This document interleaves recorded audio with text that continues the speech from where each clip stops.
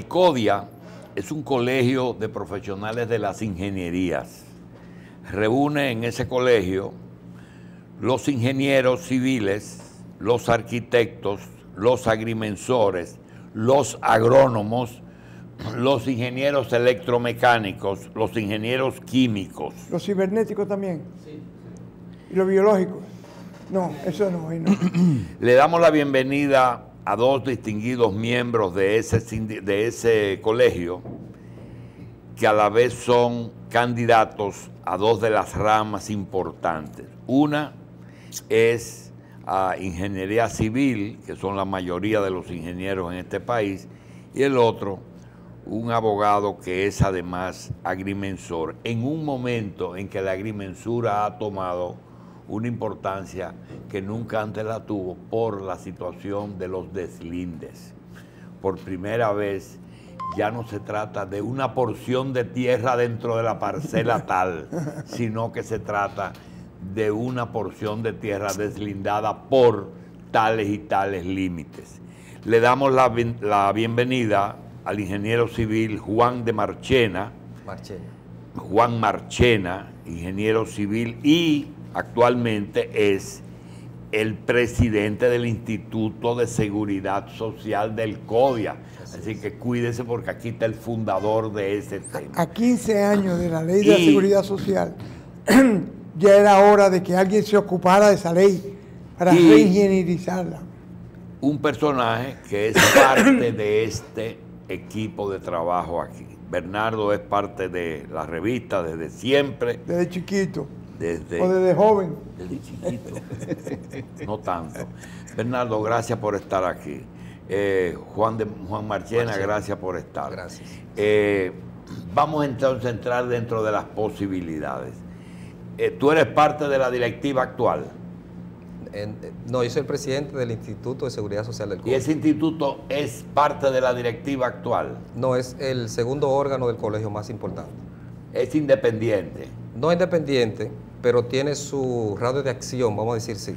¿Se elige o se designa? No, no, se elige. Se elige. y, y, esas elecciones se hacen concomitantes o no tiene nada que ver la designación del presidente del Instituto de Seguridad Social como presidente del CODIA? No, se hacen separadas. Son dos cosas. Separadas, son dos cosas. Bien.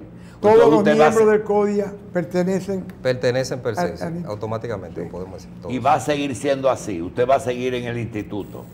Claro, porque lo no que no, es compatible. Es compatible. Los únicos cargos que no son compatibles son los de la Junta Directiva Nacional ¿Qué posibilidad hay de que usted pierda? Bueno, creo que ninguna. porque, yo lo que quiero es que Bernardo gane. Porque él va a ganar representa también. otra corriente, una corriente académica importante. Fíjense, estos son unas primarias dentro del PLD. Ah, estas son las. Unas primarias, nosotros estamos. ¿Abiertas o cerradas? Eh, bueno, semi, semi. Semi, semi, abiertas, semi cerradas. Ni una cosa ni la otra, totalmente. Sí, porque no, lo que pasa es que eh, tenemos una Secretaría de Asuntos Gremiales del PLD que eh, por resolución ha permitido inscribir a profesionales que se quieran inscribir en la Secretaría y esos profesionales van a votar también, además de lo que está en el padrón del PLD, que son profesionales de la ingeniería, arquitectura y agrimensura. Pero tienen que estar inscritos en el CODIA para poder votar.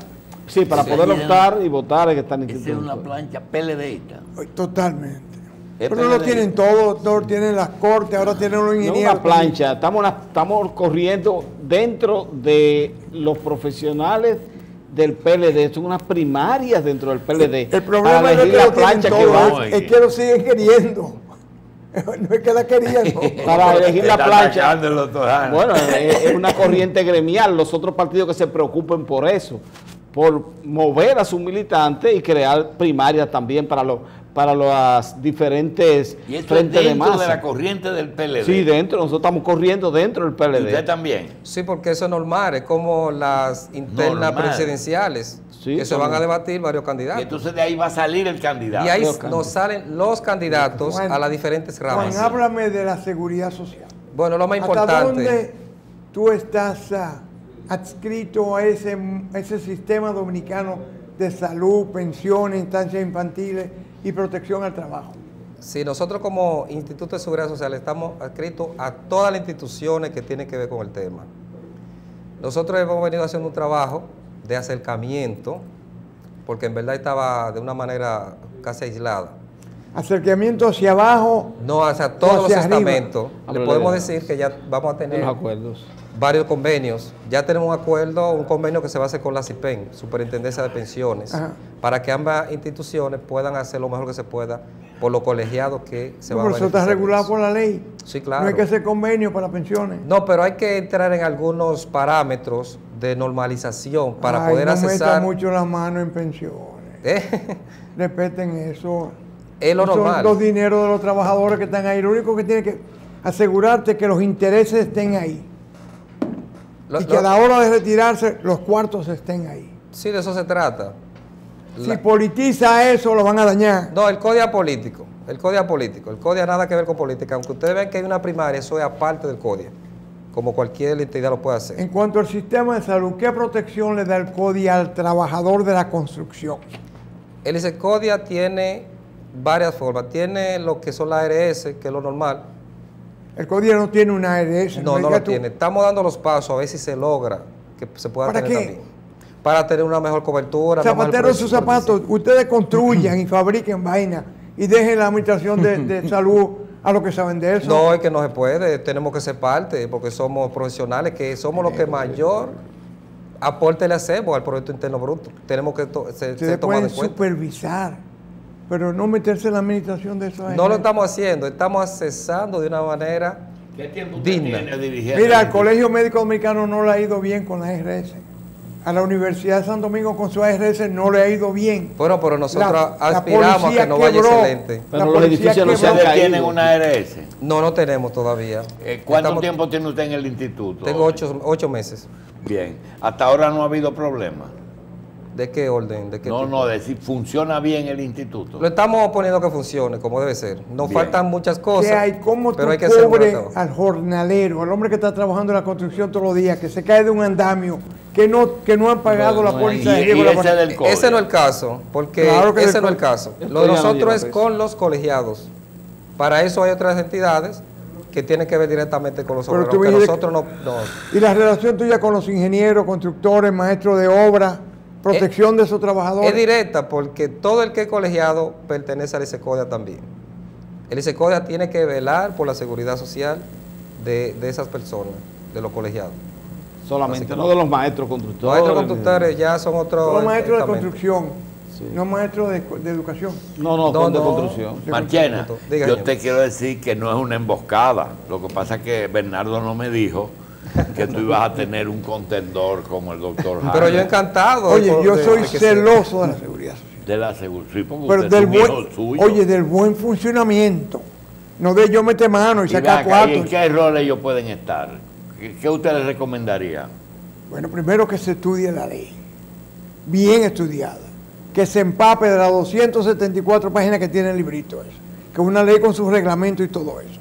Segundo, que le baje a los ingenieros y a los contratistas, que a veces no son ingenieros, ¿eh? Hay contratistas que no están en el colegio. El que está haciendo el mocoso pollo no está en el colegio. Que le diga cómo, se aplica la seguridad social para el trabajador, el obrero. Cada vez que se cae un andamio se matan cuatro. O la ARL.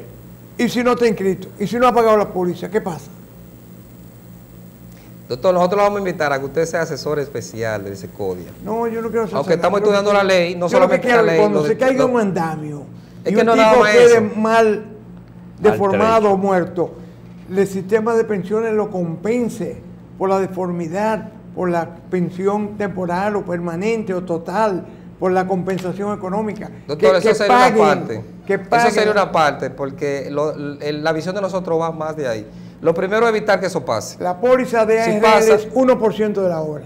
Si pasa, pues entonces nosotros tomamos las acciones del lugar. Pero la visión es más de ahí. Eso es muy, ahí es muy limitado. Invitamos al doctor que con esos conocimientos, que él se integre con nosotros y que pueda dar una buena asesoría con nosotros. Pero eh, realmente los tribunales están bastante fuertes contra el contratista que se le cae un trabajador y queda lesionado y no está inscrito. Cítame uno. No, no, eh, eh, hasta, hasta cierran edificios y lo paran por 6, 7 meses hasta que se resuelva. ¿Y qué gana la viuda con que le cierren el edificio o metan preso al ingeniero si va a pasar hambre de ahora No le paga porque siempre busca un profesional del derecho. Una pregunta con las experiencias. Tú estás como un amigo mío que un financiero lo engañó con 10 millones de pesos me dice, no, pero está preso. ¿Y tú qué ganas con que él esté preso? No, porque el edificio está ahí, hay de dónde cobrar. Eso, eso, está bastante regulado. Los ingenieros me gusta la idea que el CODIA tenga. Lo que hay que evitar que pasen las cosas. Ahora vamos a las elecciones, vamos a las elecciones el próximo. hay que evitar que pasen las cosas. Ahora hay que tomar medidas para eso. Y se está trabajando en ese orden. Bernardo, yo quiero preguntarte, la experiencia que tú tienes en administración de cosas del Estado, eh, cuando dan un contrato previenen y exigen la protección de todo el personal, el subcontratista. el, Estado y, en conducción privada, usted tiene que cada vez que viene un subcontratista pedirle, inclusive el dueño de la obra, el dueño de la obra es responsable de los subcontratistas y de los trabajadores de los subcontratistas. Antes no puede escaparse de la responsabilidad y de cubrir las obligaciones tanto de, impuestos internos como de la seguridad. El responsable de la obra es de todo, total. Exacto. y eso se exige. Se exige Pero no lo descuentan de los pagos, ¿verdad? Sí, la gente lo que hace es, claro, eh, se, está cotizando cuando usted lleva una obra, lo que usted paga eh, de seguro y fianza se le cubica. No se paga directo. ¿Cuándo son las elecciones? Se paga directo. No se paga directo, de que si una obra tiene un 3% de seguro y fianza, no se le da el 3% al contratista. Se le paga lo que paga. Ah, ya. Se cubica, eso se llama cubicar. Se ¿cuándo son las elecciones? ¿Dónde? ¿Cómo? Mañana. Mañana son las elecciones. Sí, van a ser. Ahí van las primarias abiertas. Las primarias. Las primarias. Sí, las primarias. Semi-abiertas. Abierta o semi-abierta o semi-cerrada. Eso es como el vaso, o, se ve lleno o se ve Dame hablar un poquito con Bernardo sobre la, la, la, rama que él va a presidir. La agrimensura, es la medida de las tierras, ¿verdad? Sí, el deslinde. ¿Eh? El deslinde, no solamente... Eso era lo que hacían los topógrafos antes. Bueno, el topógrafo es otra cosa. Es el técnico, ¿verdad? Porque la topografía tiene que ver todo con los accidentes del terreno y tiene, es un poquito diferente. ¿Eh? Eso ha cambiado mucho con el satélite, ¿verdad? Bueno, georreferenciado ahora son que ahora los puntos, usted lo puede entrar a los puntos de un terreno y sabe en qué país del mundo está su terreno. no hay que ir a medir físicamente. Bueno, ¿por qué, hay que ir a medir ¿por qué es tan caro el deslinde? Tú le hablas con un dueño de un terreno y le dice hay que deslindar. Y dice, ey, eso cuesta 500 mil pesos, ¿verdad eso? Bueno, lo que pasa es que ahora eh, el problema es, como dice el doctor Jacín, es que una parcela puede tener cuatro o cinco dueños. Entonces usted no puede, cuando va a deslindar un solo terreno, una sola porción, no puede dejar a todo el mundo en el aire. Tiene, que deslindar la parcela La parcela entera y todos los dueños. Entonces eso es lo que encarece el trabajo profesional. Pero eso no pasa, por ejemplo, cuando hay una cuadra que es una parcela y usted va de no, ya los tres brazos, deslindaron los tres brazos enteros. Bueno, ya hay cada porción tiene que ser más económica porque usted va, pero realmente cuando hay un título de una parcela completa, hay que delindar todo. No se acepta dejar fuera con alta constancia. ¿Y, ¿Y por qué no hay una propuesta de que el Estado Dominicano cubra el deslinde nacional? Bueno, ¿Y, quién cree en el Estado? No, doctor, usted es caótico. Lo que pasa es que... ¿Quién cree en el Estado? Para que pase como salud. Para que pase como en salud. Que no hay salud que no hay medicamento, que no, Pero el doctor sabe que hay salud y que hay medicamento, el doctor lo sabe. El doctor sabe que hay salud y que hay medicamento, el doctor William Hay salud y hay medicamento, lo que los actores de todo eso, lo que viven Hay muchos intereses. demasiado, son 10 intereses enfrentados que hay uno con otro. Pero aquí hay de todo, estamos mejor que antes. Seguro. Que antes, bueno, el doctor creó una impronta, esa ha ido mejorando. Si él, sembró. la impronta hay que revisarla. ¿eh? Bueno, todo hay que revisarlo en la vida, pero lo que usted sembró ahí como director del Instituto de Seguridad de Seguros Sociales se ha multiplicado. Esos árboles que usted sembró están fuertes. Le dio brillo a la inspiración. Claro, él, es parte. Y esa forma crítica como él trabaja es para que los jóvenes no se detengan, se mantengan siempre con ese, con ese ánimo. Con ese Doctor, dígame algo. Juan Machena, tú ganas mañana. Hoy eso se ha convertido eh, en una ampliación de la especialidad o eso se ha convertido en un nuevo, en una nueva ciencia. con el tema de la, de la ley de deslinde. No, lo que pasa es que eso es lo que ha ayudado a que el país eh, eh, sea un poco más moderno, progrese. Recuerde que el título es la base fundamental del crédito en, todos los países desarrollados. Del crédito. Del crédito, claro, bancario, porque si usted no tiene, una, si tiene un título, usted puede acceder al crédito de una manera más fácil, más ordenada. Nadie presta con una carta constancia. La agrimensura es totalmente digital ahora. Sí, totalmente digital. Totalmente Bueno, la ingeniería, todo ahí digital. Pero antes se hacían los préstamos con carta constancia. Pero había gente, un ejemplo en Aso, había una parcela muy bonita y al lado había... La mía es la que da para la carretera. Siempre llevaban a los diferentes bancos a la bonita y ahí se creaban entonces los problemas. Sí. Ah. Entonces, lo que, y, y, a veces contrataban profesionales que se componían con eso y ahí había el problema. ya no hay forma de componerse. ¿Cuántos eh, Porque hay una responsabilidad ahora de los profesionales. Vamos entonces a ver si tenemos los datos.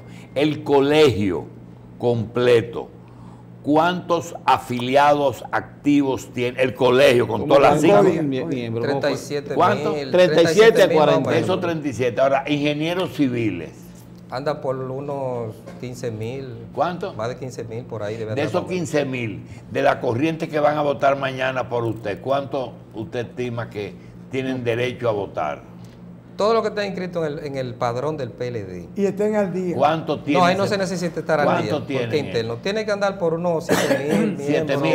El, PLD es el 50% del país. Deme ahora los números que son muy distintos de los agrimensores. Sí, hay menos agrimensores. Sí, hay menos agrimensores. Hay, algunos 4 mil agrimensores y de eso están inscritos algunos 400.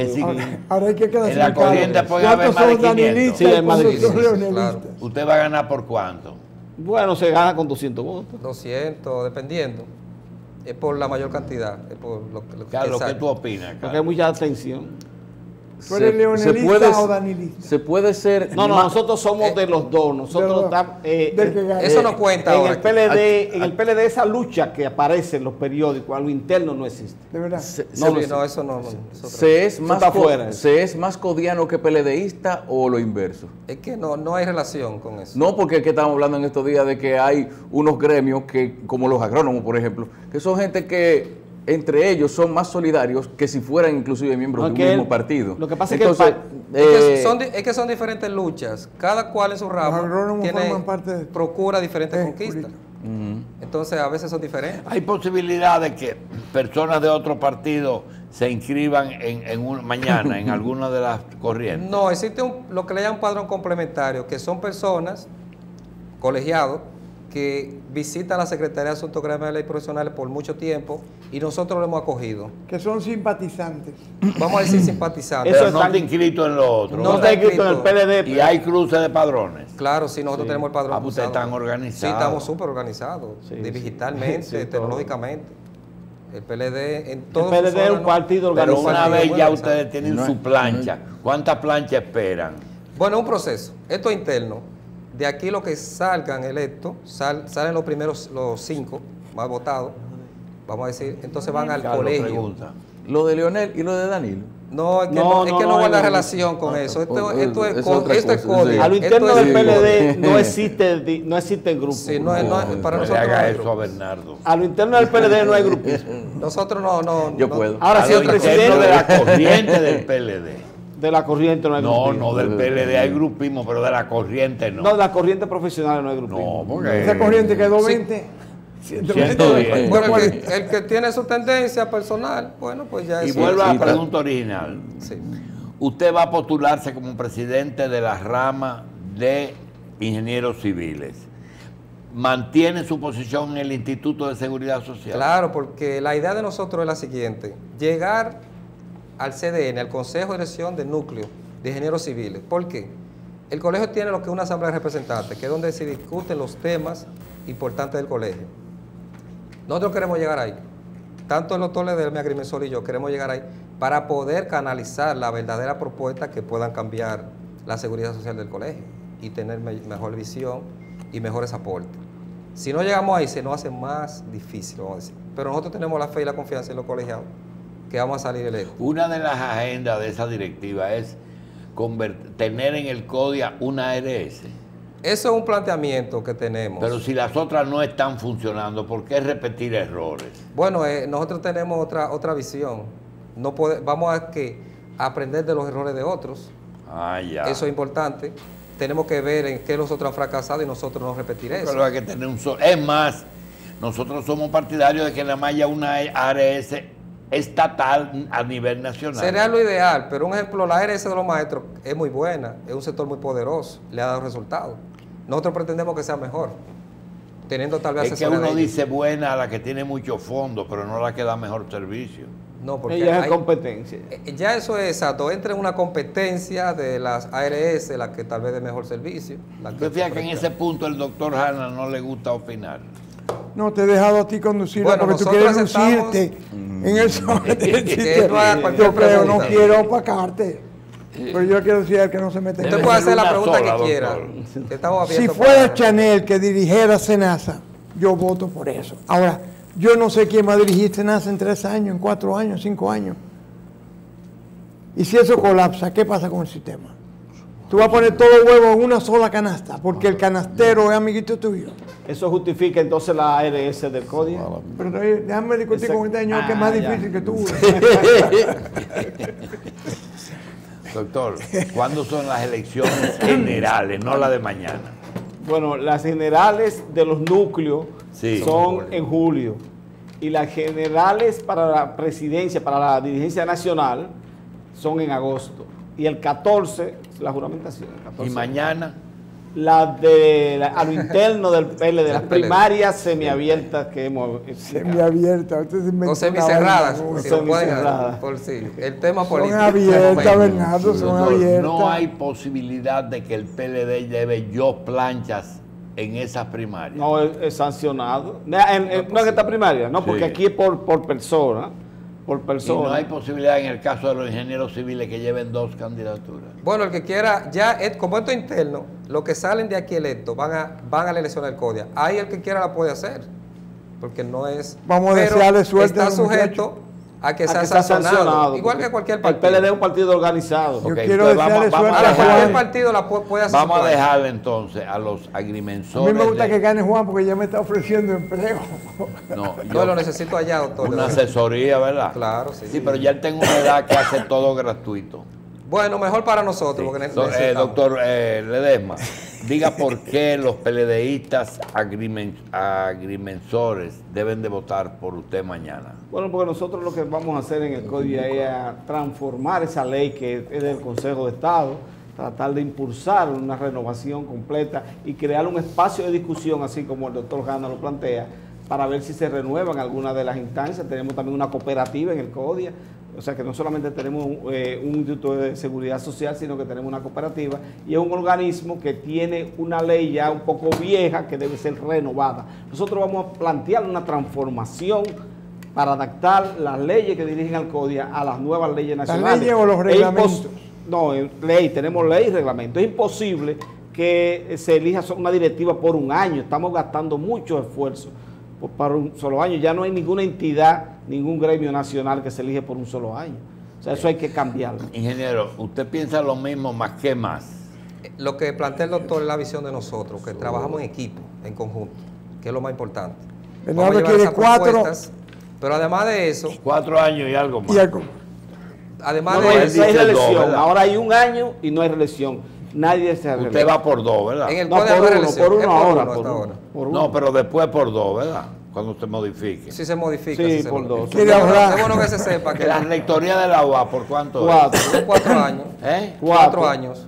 La rectoría de la UA. por cuatro. Antes era por tres. Primero se puso tres y, y se fracasa cada Creo que ahora son cuatro. Bien. Entonces, hay que votar por la misma razón del paso anterior. Sí, porque nosotros lo que planteamos es más que la seguridad social, llevar esa visión que hace falta, poder modificar algunas las leyes, los reglamentos del colegio para que haya mejores oportunidades, que nosotros podamos accesar a mejores situaciones. Es bueno que ustedes sepan que el colegio es asesor del Estado por ley, que eso nos da una tal vez mayor ventaja en otros gremios de poder tener una relación directa con el gobierno. Pero efectivamente es asesor. Llaman al CODIA cuando van a dar un contrato de un hospital. Bueno, que en esa orden no, pero sí, cuando el gobierno necesita algún asesor especial, sí se comunica. Pero eh, usted cuando habló de contrato, habló de gobierno, y él le ha dicho que somos asesores del Estado. Estado. Aquí todos los tribunales están pidiendo siempre peritaje al CODIA, instituciones privadas y públicas. Es decir, que el CODIA da un servicio que es muy bueno. Bien, quisiéramos invitar a los graduados de la universidad que más ha promovido esa, esa especialidad que es la agrimensura, a la gente del INSE, que se pongan al día primero y que luego vayan mañana. Se puede votar sin estar al día. Se puede votar sin estar al día. en esta ocasión es sin estar al día. También. Sí, se puede votar sin Y déme decirle, doctor, que el CODIA tiene un convenio con la INSE. Lo tiene, sí. en una ocasión nosotros firmamos muchas muchas solicitudes para la carrera de agrimensura. Juan Marchena. Y le propongo uno con el Instituto de Seguridad Social para un fortalecimiento de Qué bueno. Eso es lo que, se, Bernardo Ledesma, Juan Marchena, gracias por estar aquí y vamos a ver si tenemos suerte mañana, ¿verdad? Sí gracias por ustedes recibirnos acá. Nos faltó Víctor Torres, que es de la misma corriente. Víctor Torres del mismo equipo, es un muchacho joven, muy capacitado, tiene buena perspectiva, tiene la misma visión de nosotros, porque ya le dije, esto es un equipo de trabajo que vamos al CODIA, o seguimos al CODIA para hacer la transformación. Bien. Señores, gracias. A ustedes, señor. Gracias.